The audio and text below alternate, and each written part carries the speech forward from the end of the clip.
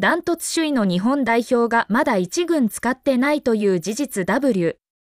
富安伊藤弘樹不在でも3バックに安定感あるのは町田の成長が大きいわね。ロングボール大作戦は富安と伊藤が帰ってきたら全員が185オーバーの4バックでしのぐと思う。でもさここにさらにベストメンバーってなると富安と伊藤弘樹がいるわけでしょ？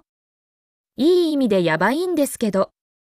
日本これにまだ富安や伊藤もいるんだよ。次世代にはユイトやチマも。みんなバイエルンに移籍した途端伊藤持ち上げるのやめた方が良い。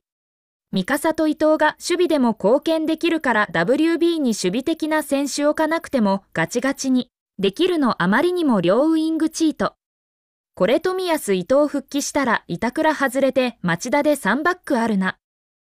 もう伊藤、富安、高井の3バックで次の W パイやね。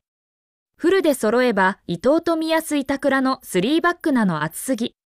左三笠と中村圭と、右伊藤と久保で盤石。同案は WB よりシャドウの方が圧倒的に良い。頭いいしフィジカルあるし守備サボらないけど縦に行けんから。同案はちょっとスタメン向いてないかもですね。菅原右 WB 試してほしい。菅原は伊藤淳也のバックアップで置いときたい。むしろ一番いらないのは同案。